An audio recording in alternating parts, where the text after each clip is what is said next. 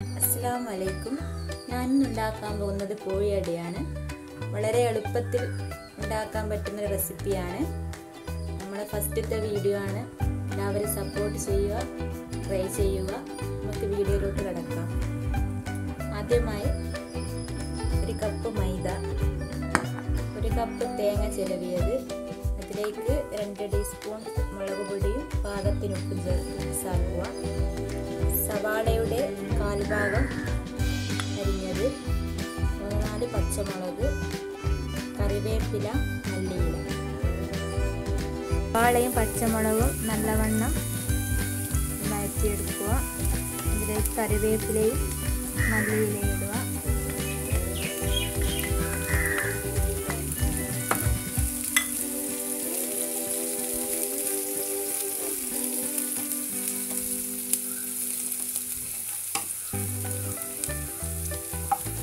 നമുക്ക് തേങ്ങ ഇതിലോട്ടേക്ക് ഇടുക.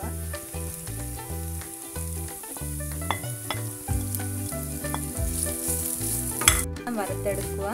നല്ല മുരിഞ്ഞ രൂപത്തിലാവുന്നത് വരെ വറുത്തെടുക്കുക. നിങ്ങൾ വേണേൽ ക്വാണ്ടിറ്റി കൂട്ടുകയും കുറക്കുകയും ചെയ്യാം.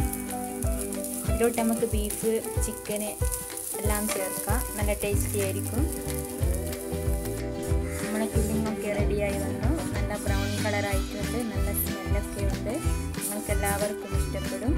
റെഡിയായി നമുക്ക് മാറ്റി വെക്കാം നമ്മുടെ ഫില്ലിങ്ങൊക്കെ റെഡിയായിട്ടുണ്ട് ഇനി നമുക്ക് നേരത്തെ കുഴച്ച് വെച്ച മൈദ മാവെടുത്ത് പരത്താം.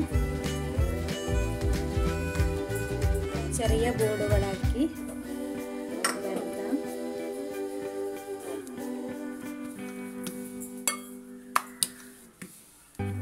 നന്നായിട്ട് പരത്തി നമുക്കൊരു ഗ്ലാസ്സിൽ വെച്ച് ഇതിനെ മുറി ചെറിയ ചെറിയ പീസാക്കി മുറിക്കാം.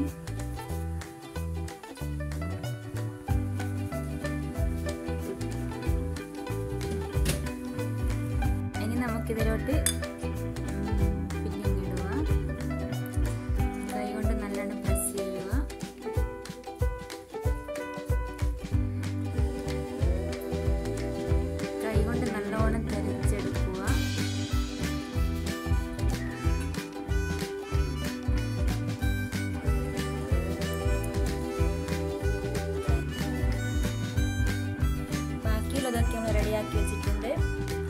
പരുവത്തിൽ ആക്കുക ഇനി നമുക്ക്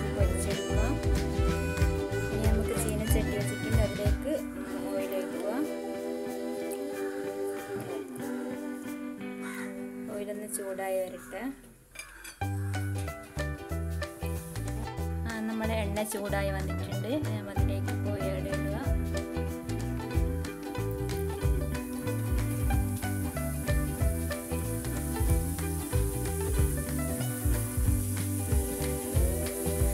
ബ്രൗൺ കളർ ആകുന്നത് വരെ.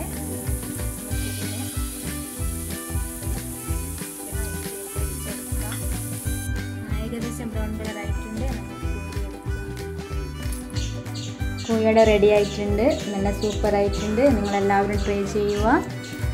നിങ്ങളെല്ലാവരും സപ്പോർട്ട് ചെയ്യുക. നമ്മുടെ ചാനൽ സബ്സ്ക്രൈബ് ചെയ്യുക. അടുത്ത വീഡിയോയിൽ കാണുന്നത് വരെ അസ്സാം വലൈക്കും താങ്ക്